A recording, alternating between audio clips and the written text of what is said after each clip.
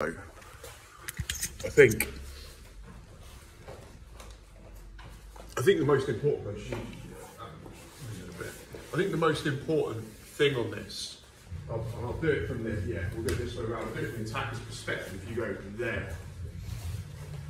If me, and, then that makes it the, the, the, defending, but like, for me to, if, if you look at what, um, what, just move that hand so there's no yeah, just put it there, yeah.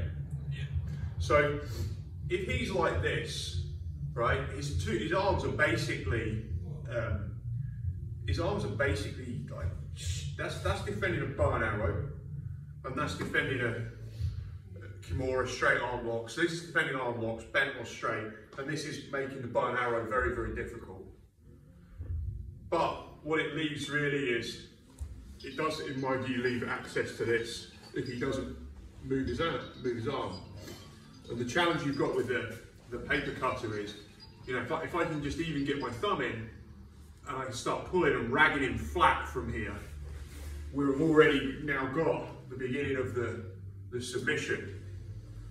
So I think the conclusion we came to is if you think like the Kimura, if we're dealing with the iron pillow, the Kimura is the major thing to begin with. Other things branch off it, but the Kimura grip here, you've got, yeah, we've got the paper cutter here.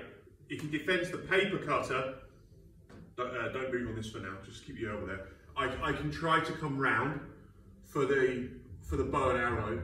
In reality, we were finding during isolation yesterday that the major thing was that uh, I usually can't, if he's here and he's still actually defending the paper cutter, but with one eye on making this as awkward, this grip as awkward as possible, we were finding that was the, I think the most, I think the conclusion was that was the most effective, was to almost put your eggs on being inside and if I really try to force, the further round I go, the more he can open this out without too much exposure. So if I really, you feel the guy's got a grip in here and he's trying to like get it in, he's really trying to throw this in, like he can go a little bit more on this, but we were finding that usually, the, I think the, usually the best position you end up with is this hand coming, as I come here, I end up able to maybe force something in here, right? And, and maybe, you know, Frank might say, well, you, you're not doing something enough. But that was what we were finding in sparring, was you could maybe get in here, and what tended to happen was there was a gift wrap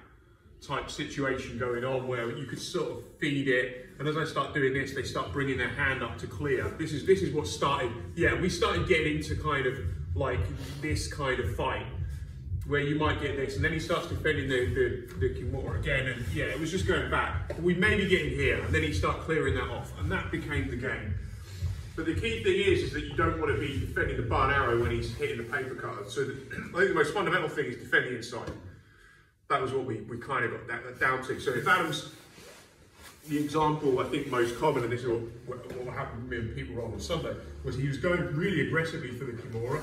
Yeah, and I kept defending, I was kind of defending the Kimura, and he was threatening to step, so my arm was up, and really this was just wide open and you don't need a lot on that.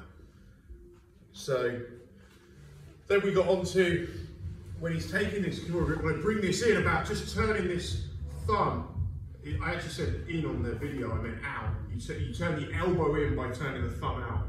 And I wanted to just kind of wedge my arm inside the elbow, uh, elbow joint. So, if, so I'm defending the Kimura with my knee up, and if he now switches, this arm's inside. And this gives me the ability to just sort of put my hand to my head and to turn into him if I, if I feel I need to, if he's really fighting for this neck grip. Was there anything else I've missed in terms of the debrief? We talked about yesterday. No, I think that's what it all boiled down to.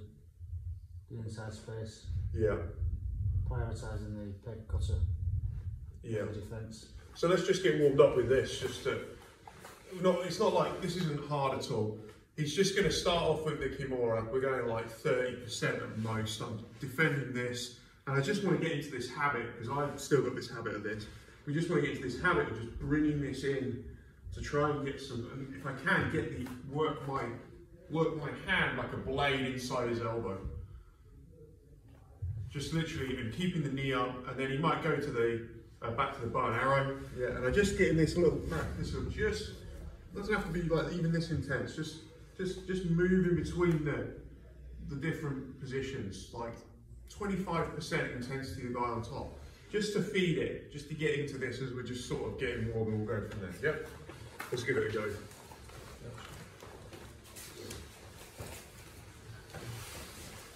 Um, you want to mix in with Matt because you were here yesterday, or either of those two were here?